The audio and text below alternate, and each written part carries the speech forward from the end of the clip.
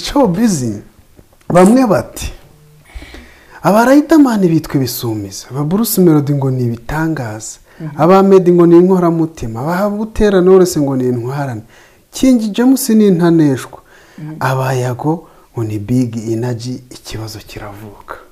Oya kugeza ubu nubwo um, ijambo big energy abantu bashobora kurifata nk'aho ari ikibazo. Ijambo ubwaryo si ikibazo. Kandi ari cyo kibazo cyabaye. Mm-mm, ntabwo ikibazo ari uko bitwa. Ikibazo ni byo bashobora kuba wenda hari abafite ibyo bakoze. Kandi na byo ntibabikoze kubera ko bashakaga eh, kuba ari byo bakora. Ahubwo ni itsinda ry'abafana nk'uko twavugaga iby'imikino turimo dutera itsinda burage utasanga ahantu. None se ubundi abafana ibisumizi byo wajya mu gitaramo ukabibona. Hanyuma se w'iyo yakoze igitaramo ntibaba barimo? Buriya none? Ni nk'ukuntu none nari ndimo ntera burage mvuga ngo eh, ngo abafana ba rutsiro yewe nyoboye abitwa inkuba zesa z'i kigali z'i kigali oya ku isi hose genda mu isanzure. Ku isi yose eh mu isanzure. Inkuba zesa zose niyo uziyoboye minisitiri ushinzwe isanzure mukazahagonganira ni ntuza jyewe ndimo mvuga gutyo. Eh, ese ijambo inkuba zesa ni ikibazo? Big energy si izina ubwaryo ni ikibazo? Ikibazo ni umuntu ushobora guturuka inyuma. Akavuga ngo ubwo hari iyi nduru nanjye waza nitwa big energy. Urimo urabyumva? Abantu bitangira bavuga ngo turarwanya icyarenganya undi. Ibyo babivuze igihe yago yari atangiye kuvuga ko azonzwe yahunze. Bya bindi byose byabaga by'i bugande yagiye na za nduru zose zabaga. Nibwo batangiye bavuga ati twe tuzarwanya ikibi muhaguruke tukirwanye. Ariko byatangiye ari abafana nk'abaperi nk'abareyo nk'abapolisi nk'abarutsiro nk'aba- nk'ibisumizi nk'intaneshwa n'ibitangaza. Ahubwo icyabaye kuri big energy y'itsinda ry'abafana. Ni nk'ukuntu umudamu ntibuka wari wi- wihaye kuvuga ko ari inshuti ya ya yago. Ati buriya twaranavuganaga cyane nuko nabuze nomero ye. None undi nawe bavuganaga akajya amwoshya. Ubwo se ntumuteje ibyago? Ngo ngo na byo byongere ku bindi ni iki Eh, ngo n'ubundi ni hahandi ntabwo leta izamukunda abo ni abantu bishyize hariya ngo bagomba gutsinda ubutegetsi bw'u rwanda ngo bari kuri youtube nk'iyi ndiho. Kuri iyi ntambara zirwanwa kwinshi uzi ko niyo waba uvuga umusozi ukanyeganyega umuntu nta- nduru irwananira kirazira ariko ingoma z'ubu zitinya induru. Ntawe udatinya induru. Iyo ivuga uravuga uti iyo nyombye mwirasa amatama yombi ubwo yarashwe rimwe. Bigabanya induru. Ariko ntabwo urusaku rw'inyombya rwabuze izindi nya- nyamaswa kuba mu ishyamba. Uwo muntu aramwiyitirira ngira ngo mu kiganiro twarimo tuvuga n'ubwo yago yaje kuntuka ariko ntabwo mbifata nk'ikibazo gikomeye kubera ko hari ukuntu umuntu aba yifitiye ibibazo bye ku- kumenya uko ubigenzura ni uburenganzira bwe Mm. ariko ndanavuga ngo mu bintu agomba kwirinda yirinde icyitwa ingengabitekerezo ya jenoside n'ibindi nkabyo ndetse n'aba bantu baje bamwiyitirira barimo gukora ibintu bibi bavuga ngo ni inshuti nabo bamagane. Ko umuntu yagukunda ariko ku ruhande afite ibindi yikora bibi? Agashaka akavuga ati iri tsinda rifana yago uwaricamo sinaribyaza inyungu y'ikibi cyanjye nashakaga kubiba. Nicyo Eh. cyabaye ku itsinda rya yago ariko yaba yago n'abafana be babandi bose bazaga kumureba aho aririmba abakurikiraga ibiganiro bye ntawe ugamije inabi ijambo ntuzivuka ntekereza ko atari cyo yari igamije. Ariko harimo abavuze bati ubwo yago yarakaye. Akaba avuga ko ibintu bimucanze ahunze. Uwabiporofita noneho natwe tugakoreramo ibyaha byacu. Mm. Ariko ubundi si cyo cyari kigamije. Ndatekereza ko n'undi wese natsiyera ajya kuvuga kuriya we yatewe impungenge n'andi makuru atatubwira abona na- kubitwaza ibyo. Nyine. Kuri babandi baza kuri twitter bakandika bati natwe turi big energy. Ariko wajya kureba ugasanga ni big energy from nyine hari abaramubazaga si nk'abandi n'abandi basanzwe nabo bafana runaka. Nanjye namwe ngo ni nk'abandi arambwira atoya ati bariya ubitondere. Impamvu babivuga ni uko hari abinjiriye itsinda rifana. Kuko n'ibisumizi noneho haciyemo abantu b'abagizi ba nabi bakaza biyita ibisumizi. Leta yakwikanga. None igashaka kurobanura igisumizi cy'umufana n'igisumizi cy'umugizi wa nabi turabitandukanya dute?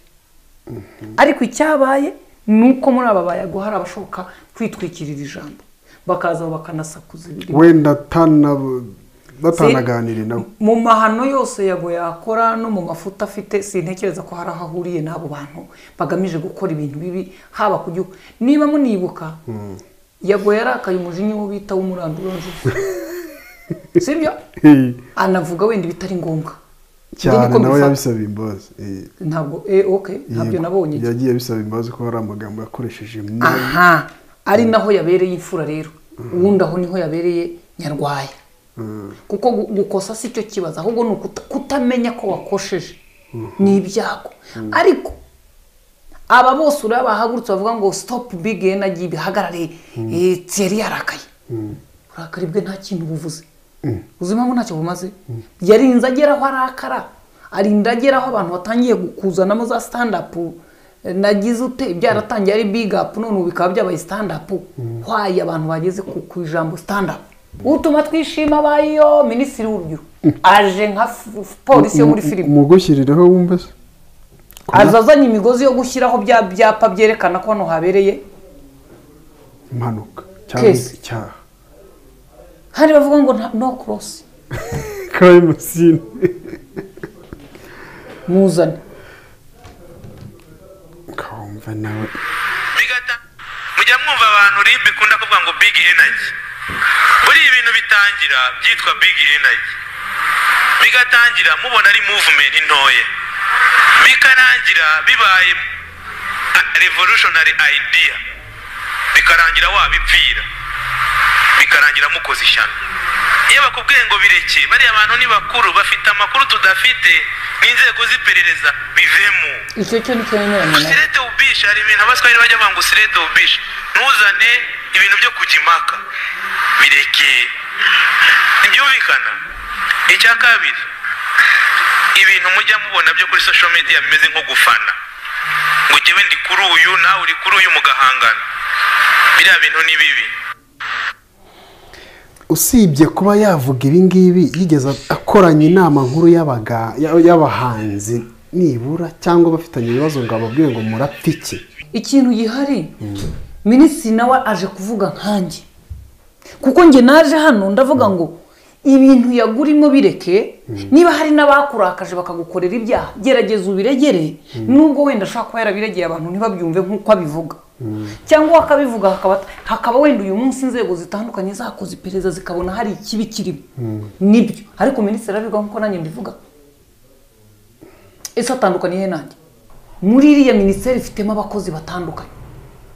Banariza bene ibyo kuki batahamagaye bavuga batari ko? The beni na na na nindi? Na, me, na bruce melody? Bruce Melody. barafite uwitwaga uyu muhungu waririmbaga uba muri amerika ninde? Uyu Meddy. wa- wandi w'i kigali yego. Ninde? Urimo kuvuga ko watumye avuga ati ngewe umuziki w'u rwanda ndawuzinutswe. Mwaramubaje ngo habaye iki? Eh. umunsi cyane niba byari n'umucuruzi asubiza tini namba ntibamubaze ngo rwanda reveni kumva nta wabaye iki? Noneho eh, fata ku mavuta. Araje nawe aravuze ati runaka yaranyibasiye reka nanjye muhibye mwabaje fata ku mavuta ngo yakwibasiye ate? Ubu ibinyamakuru byose byarazengurutse biriho uyu murungi sabe. Biriya birimo bikorwa. Byaba byabaye cyangwa bitabaye. Birimo kubaha umuryango wa sabe. Niba we ni umugabo w'uriya mugore urimo kurega. Hari uwabatumye operasiyo kumuhiga ninde muntu ushinzwe gufata amashusho y'umuntu agenda mu nzira? Aho yaba ava hose. Aho yaba ava hose cyangwa ajyayo. Ni icyaha wabonye ukavuga uti kama amakuru ribu ikumire cyangwa ifate? Mu bikorwa birimo gukora. Mwageze aho mushyira igitutu ku mugore wa sabe udakora biriya biganiro utaragaragaye muri iyo videwo agera aho aza kwandika ko we n'umugabo we nta kibazo. Yagiye kuza kuvuga uzi yari amaze kumera ate? Yarabyumvaga yarabibona inzu yari yamuhiriyeho. Ibyo bintu murabibonye? Ntacyo byatwaye. Hari abavuga ko sabe ari umutindi yabagiriye nabi hari abo sabe nawe arimo nonaha kureba ko bamuhemukiye. Ibyo bintu murabifashe bibaye iki? Ibiri aho murabyemeye. Ntuwe hakabaye hari inama. Itumaho impande zigaragara nk'aho zirimo gushwana. Mukanabikora biri furendiri bitari rigo. Ukabaza utari ko? Koko sikovi wowe na samu mupfiki banza ngo bahita bababwira ngo buriya ngo ni ibi burage ziri aho ni izi burage niba zirimo umuntu ushobora kudekarara ko ahunze zikwiye guhagarara. Izi burage niba zishobora kuzana amashusho y'amahimbano cyangwa y'ukuri bigatuma umugore n'umugabo bananirwa kubana mu nzu bagatangira kurebana nabi cyangwa se bakanarebana neza ariko hari urwikekwe twaremye. Bikwiye guhagarara. Niba abantu barimo kurakara umuntu agatangira kuza kuvuga ngo runaka ise ni umujenosideri undi nawe agatangira akavuga ati se wa yago yishe umuntu? Sinzi ibintu bavuga ngo yishe umuntu. Iyo nkuru yose nanayumvise nayumvanye yago. Igihe yabaga sinayimenye njye nawe bakavuga ngo yagize bikageraho umuntu atangira yago urimo kwirwana. gukubaganira nyarugenge bikamanuka bikataka se wiragiriye inka. Eh, uyu wundi ninde ntibuka ukuntu yitwa bavuze ngo ise ni umujenosideri wagiye kuzana ifishi. Uya babishyiraga nabwo babishyiraga iyi imwere. Karidi ajyaho yajya kuzana ifishi y'umuntu utakiri ku isi. Mushiki we yaravugaga iki? Mukuru we yavugaga iki? Mubyara we yari ari he muri iyo zone? Niba wowe urimo kwataka irene byatumye uzana se na nyina. Niba yago mwashwaniye i kigali urazana se na nyina na mukuru we na mubyara we forward. Ibyo bintu bikaba? Nibyo minisita hano arimo kuvuga nubwo nawe aje gutoragura amayogi intore zarahamirije kera. Minu ubumwe iri hano yakabaye ihagarika abahanzi bahoze iwe. Ni amakimbirane ari aya makimbirane murimo buze ntacyo minisitiri utuma twishima beshye abantu batangiye bavuga ngo turafana sikoviyo bayida w'abafana ni abantu beza ariko bakoze itsinda simbakunda. Kubera ko hari igihe sikoviya nisanga mu ikosa amategeko yanyataka rya tsinda rika ushaka rya tsinda ryawe mu ngo rize kwataka amategeko. Eh, urimo urabyumva? Ntabwo ari byo niba izina enagi bigi enagi ryabaye ikibazo ku bafana. Uyu mwana eh, yago ntarihindure wenda bite eh, gurupu fani sibyo? A- ahindura izina. Noneho uzasigara yiyita atyo. Aba ari we kibazo. Aba ari we kibazo mu rwego rwo kugira ngo ikibazo yari agifite ku izina cyangwa yari agifite ku kiri mu izina? Ibiri mu bikorwa na byo yagowe nk'uko nabonye inkuru ku gihe isi ivuga ku byo ya- yagize ate? Eh, nari nyishyizera Eh, ndimo ku gihe nze nyishake nari nyibonye. Mhm. hano inkuru iravuga ngo yago yemeye gufatanya na minisitiri utuma twishima mu gushaka icyakemura ibibazo biri muri showbiz. Sintekereza ko ari we wo kubishaka wategetswe kuko arimo ibibazo birimo biramugonga ndetse n'abandi ariko icyo nashakaga bavuga umuhanzi. Umuhanzi yashimiye minisitiri dr utuma twishima jeanne paul abudara ku ruhare agira mu gushyigikira abahanzi n'ibyo yamushimira ko yaje mu gitaramo cye mm, yifashishije umuyoboro we wa youtube tv show agaragaza ibitekerezo bye n'inzira abona yakemuramo ibibazo bigaragara muri showbiz bya- byatumye nawe ahaguruka akirwanaho. Kirwanaho iki ni cyo nashaka kuvuga. Koko abemeranya abakurikira abafite amakuru. Yago yarahagurutse yirwanaho? Cyangwa niko yarakubaganye ndimo ndabaza abayobozi. Yarahagurutse yirwanaho? Cyangwa yarakubaganye akora amakosa? Ntacyo arwanaho. Niba yarirwanyeho kuki yageze kuri revo yo kwirwanaho? Ashobora kuba yaratinye inzira z'amategeko nubwo mu kwirwanaho ashobora gukoreramo ibyaha n'amakosa. Ariko ndagira ngo turebe ntange urugero rubi. Abantu bavuga bati urabigereranyije cyane ariko kambitange umukobwa urimo gufatwa ku ngufu n'umusore. Noneho uyu mukobwa akaza gushaka nk'igiti akagikubita mu jisho ry'umuntu akaryica. Sibyo wa musore ko bamubabaje mu jisho akarekura.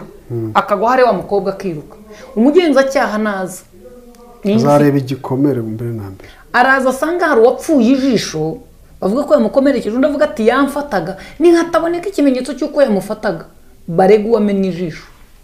Ariko si we wari wabaye? Nubwo atari yamugezeho neza ariko bagunda nyine ibimenyetso byerekana ko yamusambanyije ntibiri buboneke kwa muganga kuko yamumennye ijisho ataramusambanya. Ariko iyo atarimena yari bumusambanye ubwo umugenzacyaha arahagarara he cyangwa umucamanza. uyu mukobwa natabona ibimenyetso byiza. Baramufunga. Niyo mpamvu rimbo yatubwiye ko ikurikirana yagwa. Kandi ashobora kuba yaraje atera icyuma mu jisho cy'uwari umufashe. He? Ariko uwatewe icyuma ufite igikomere. Twese niyo mpamvu twabuze tubwira ngo purize sitopu kuko yari arimo akora ibyaha twe tureba. Agahinda bamuteye n'ibibazo twe ntitukazi Hmm. Uko yirwanaga ngewe kuri ngewe simbizi. Ntabwo nzi icyo yirwanagaho wenda aba muri showbiz bo barabizi. Ariko njye simbizi. Ariko njye icyo namenye namenye ko yagwa arimo gusatira amategeko ayangiza. Kandi amategeko naza aramwasa. Ntabwo ah- ahengekereza. Ngo mbwira ngo yakoze icyaha. Kubera ko ibyo amategeko ntabwo niyo haba hari uwagukoreye icyaha wowe ukurikirana baravuga ngo icyo ni ikirego ukwacyo nawe uzakiregere. Umucamanza asuzuma icyaregewe ariko tutaragera mu mategeko no mu mucamanza no kuri rib. Hanze. Amahuriro y'abahanzi abaho. Ahagarika aya makimbirane. Minisiteri y'u- y'umuryango iratabara. Kuko iyi showbiz irimo ikibazo cy'umuryango. Iyi showbiz irimo ikibazo cy'amategeko. Iyi showbiz irimo ikibazo cy'ibyishimo by'abafana. Kuko yago arimo aratuka abamugiriye nabi. n'ubucuruzi umwe aragambana ni we ntuzabone ibi ntuzabone. Ibyo byo ni bizinesi yego. Basanze hari icyo amategeko avuga bajya mu rukiko rw'ubucuruzi.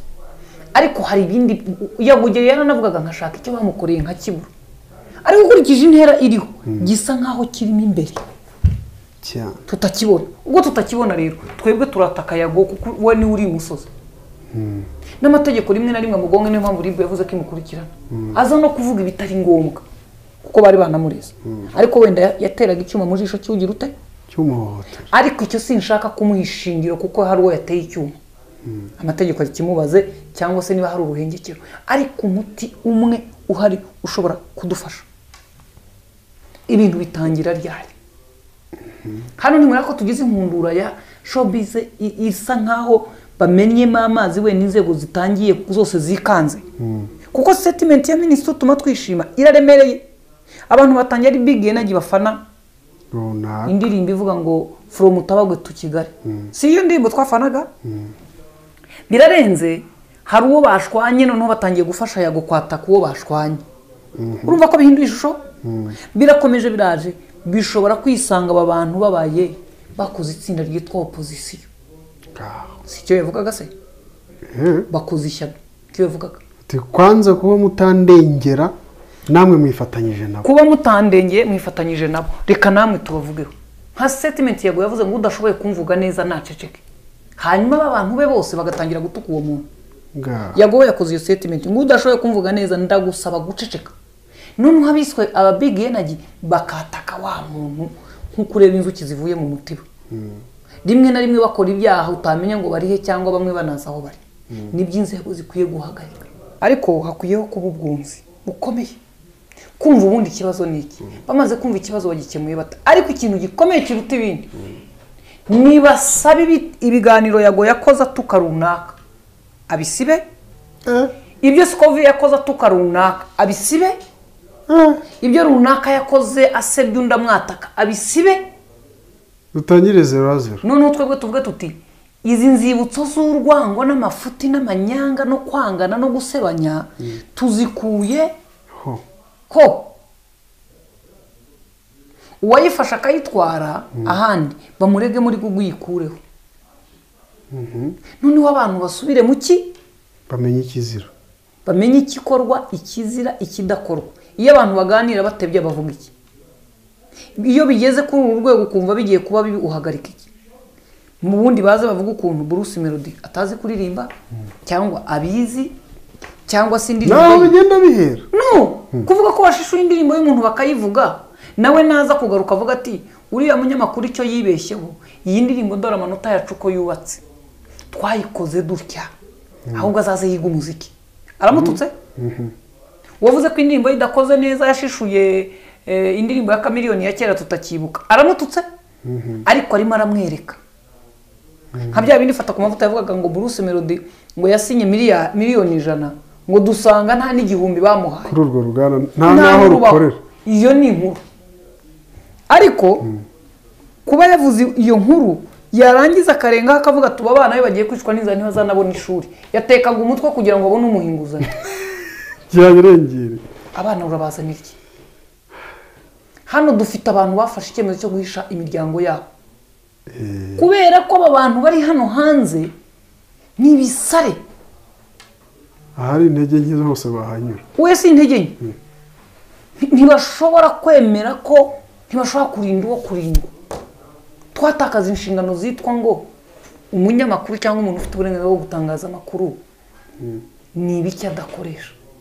Yewe niba navuze ko utuma twishima yateraniranye abahanzi. Navuze utuma twishima nka minisitiri baduhaye itegeko rigasohoka rinyanganya ku bahanzi. Mu gace mu gitondo akavuga ati turimo turabiganira. Aho arimo araba minisitiri. Abana umugore we ise nyina wabo aho yize mwarimu wamwigishije uwo ba- basuye mubyara we ndabashaka wiki? Ko mu bo kabineti yambwiye yagize minisitiri batarimo ndababaza iki? Ndimo ndabaza minisitiri inshingano. Abantu bashobora kwibaza bati ubundi imico afite cyangwa ibiki bikomoka? Imico afite ntabwo twamubwiye ngo ni imico ubundi tujya kuzana umuntu wo mu rugo. Iyo tuvuga ngo uburyo sam aririmba na se yahoze acuranga inanga aririmba. Yamwigiyeho. Ariko niba urimo kwataka ari amakosa. Arimo- ho tugaceceka urimo kwataka umuntu wakoze ibintu bibi. Urimo urazana se kugira ati ashobora kuvuga ati isuka igira isoko. N'amabagira hanyuma bajya kabineti ijya guterana ikamugira minisitiri bari bagiye kubaza niba se yarabayeho minisitiri. Dufite abantu hano bayoboye. Iwabo ari bo bantu ba mbere bayoboye. Yego. Kandi akaba umuyobozi mwiza. Mu muryango akomokamo nta wundi muntu wabaye umuyobozi. Habe na nyumba kumi wa kera. Akaza uyu munsi akaba deje w'ikigo akayobora ikigo gitera imbere. Kandi akaba umukozi mwiza.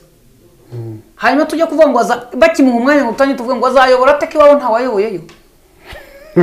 Kuyobora se biri mu maraso? Cyangwa biri mu myitwarire n'ubumenyi? No kubaha no kumvira? No kugirwa inama no gukosorwa no ku eh? Ariko umuntu mushaka kumubona ntabona uburyo babangamiye. Ibyo- rero ibyo ibi bintu nta nubwo ari iby'ubu ibyo ntabwo ari amakuru ni amatiku. Tiku. Kuki ibyiza byo mubijyaho ibibi ntimubijyeho ibyiza wamutanzeho urugero kuko nta ngaruka biri bumugireho ariko urazana amatiku yo kumurimbura. Kandi twarimo tuvuga ko yusita adashoboye kuyobora. Niba dusanze umuyobozi asenya ingo ajya mu miryango y'abana agasenya ingo. Tugasanga n'ubundi ntabwo Aha, se nawe ntiyari yoroshye. Uretse gato. Nituza gusanga meya akubita umugore. N'abagabo batuye kuri uwo musozi bagakubita abagore. Turaza kwibaza ku bushakashatsi bwa neva igeni yavuze ngo abana bavukiye mu miryango ifite amakimbirane. Nabo baba bafite ibyago byinshi byo kuzaba mu makimbirane. Cyane ku kigero cyo hejuru. Cyo ku kigero cyo hejuru ugereranyije n'utarayigeze. Mu bukure bwe. Aho turimo turatanga ingero twubaka igihari. Ariko mwabana hari ubuzima bw'umuntu dukwiye kureba tugahumiriza. Yewe nsanze minisitiri muri pisine yoga yambaye ubusa. Nibavuga ko yariye ruswa ndazana ifoto ye yambaye ubusa ngo murebe inda. Birahuye se koko? Ntabwo yari ari mu mwenda w'ako kazi. Ariko niba barimo kugenzura uko amafaranga yinjiye n'uko yasohotse. Ngenda babwira nti mu byo mugenzura mu mafaranga atunze inkomoko ayo yishyurira abana akomoka ariko sinazanye amazina y'abana n'ishuri. N'amafoto.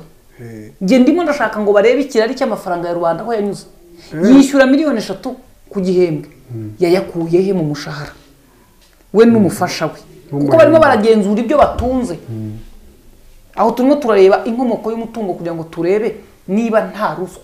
Kuko iyo bagenzura inkomoko y'umutungo bareba mubyara we se wabo abasano ngo barebe niba nta byamukomotseho bibajyaho ariko ntabwo bavuga kandi bakabikora mu ki? Mu ibanga. Jyewe ndinde wo kuza? Niba navuze ibyo umuntu yakoze nabi ni byo. Ariko umugore n'abana umugabo we n'abana nyina na nyirasenge baraza gukurikirana. Izi nkundura rero zirimo hano inzego nubwo bimeze gutya. Minisitiri dukomeze twifatanye nawe kurira utabaza we yaburiye aranatabaza ariko dukeneye ibyemezo. Nga- yago niba we avuga ko yemeye agasaba imbabazi. Zabo yatutse nabo yagize ati nasiba ibiganiro. Niba bikiriho nta mbabazi yasabye. Mm. kuko icyo yari agamije yatangaga ubutumwa. Kandi ubutumwa buracyari kuri puratifomu aho tubukomeza kubwakira. Ubu warebye wowe ushobora kuba atabonye ibindi. Niba hari umuntu yagiriye nabi akaba yakoze nabi we abyiyumvisha nko kumbwira ngo yasabye imbabazi.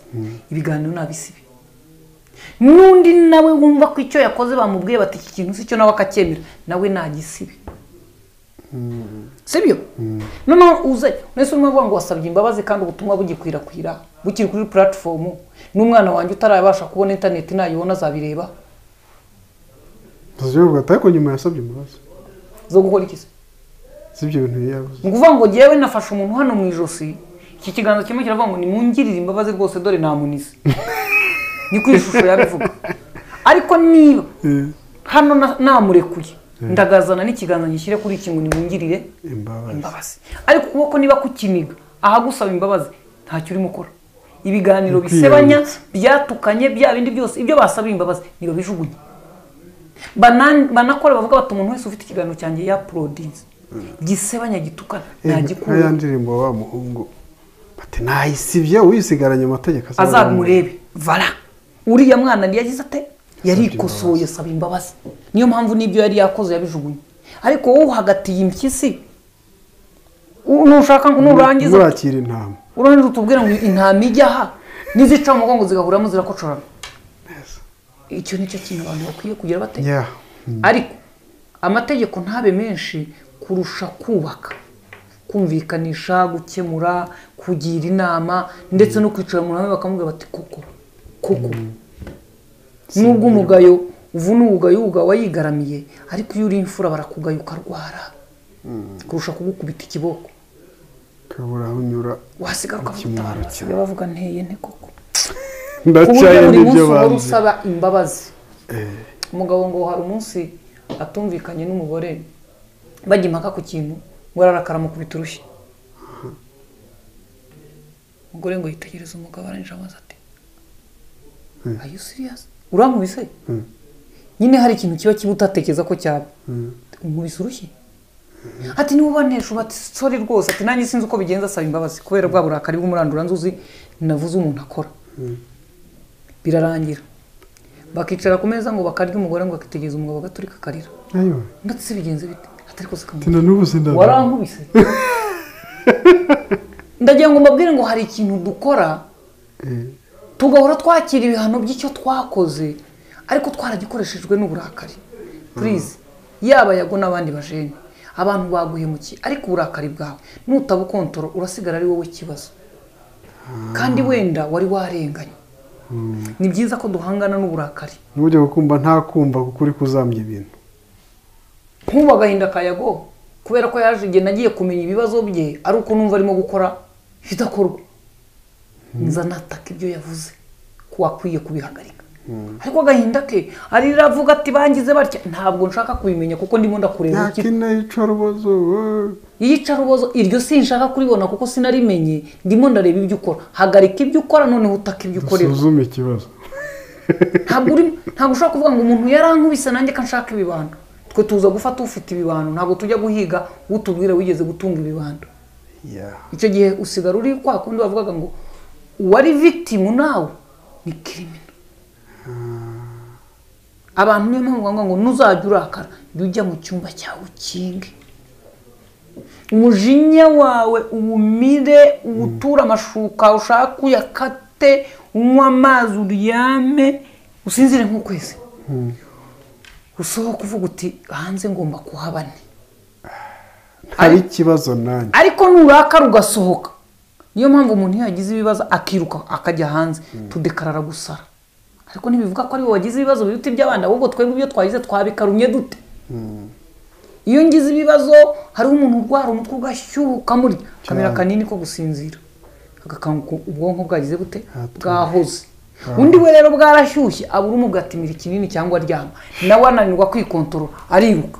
Nawe uriya buri cyiciro cyose kirimo bu- buri muntu ni umusazi ku rwego rwe cyangwa ubwonko bwe burashyuha ahubwo hariho ubushyuha bukayaga bukameneka hanze mu gihe ubwo abandi buguma aguma ashyiramo akabarafu bumanuka bizamuka bimanuka bizamuka bimanuka tuba turi kuri uyu nk'umwana ufite umuriro baba bapima igipimo uzamuka umanuka cyangwa gutera ku mutima bakabona indwara nyuma kugeza ubwo wenda bituje bikaba bigasubira muri nomo ngaya nguko aho nibagende barwane ariko ubwo minisitiri abivuga yagukambwira ko yasabye imbabazi n'abandi nibazisabe n'abandi bazisabe ariko mu gusaba imbabazi. Basibe ibiganiro.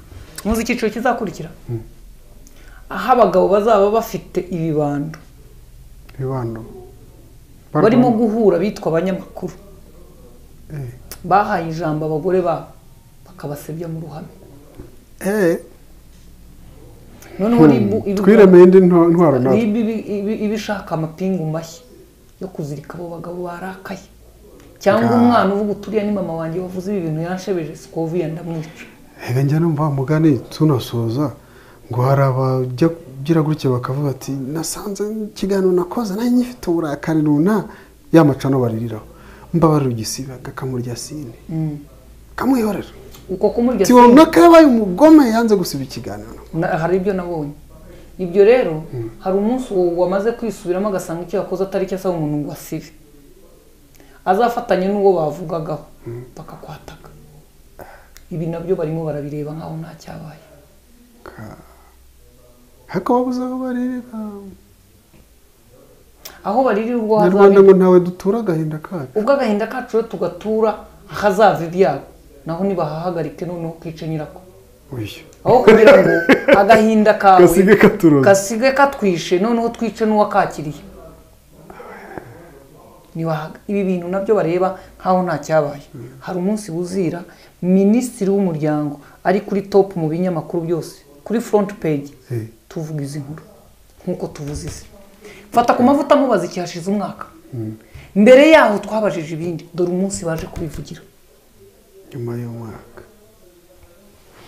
Icyari big energy nk'abafana cyaje kuzamo nkongo gitangira kurenga kuba abafana b'umuziki abafana bo gufana abicanyi. Ariko bakitwaza uyu mwana uririmba yago n'abandi. Sibyo? Ariko byarakuze. Biravuka. Bibaho. None dore uko bisa. N'ibyo bindi rero. Hari umunsi bizakura. Turi kwiremera intwaro tutabizi. Igihe cyose iyo hari ibintu udakora uba wiremera inyeshyamba. Ni nka njya mbabwira umuntu iyo aba umunebwe ayo yabonye akayanywera andi akayabyinira andi akayasambanira andi akayasindira andi akazerera iyo amaze gukura ya nzira yanyuragamo akora bya bindi bya bindi byose yakoraga zari inyeshyamba yiremeraga zo kumurimbura mu zabukuru.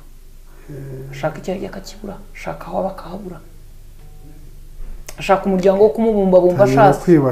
urabona aba bagabo na byo nzabisubiramo aba bantu mwirwa mukora divorce. Muka mutazashaka abandi. Muzakumbura bo mubana mu myaka yanyu ya bukuru uyu akumbura ikibisi bazakenera abo kubana nabo. Gukora divorce yihimura ashaka undi azashaka undi ashaka undi.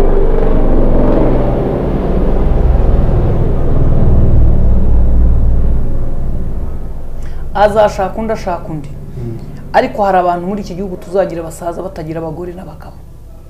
Icyo gihe buriya wabimenya ugeze mu nzu mu bwana bwacu. Wabimenya ugeze mu nzu y'umugabo ushaje utagira umugore n'umwana. Wabimenya ugeze mu nzu y'umukecuru utagira umwana. N'umwuzukuru.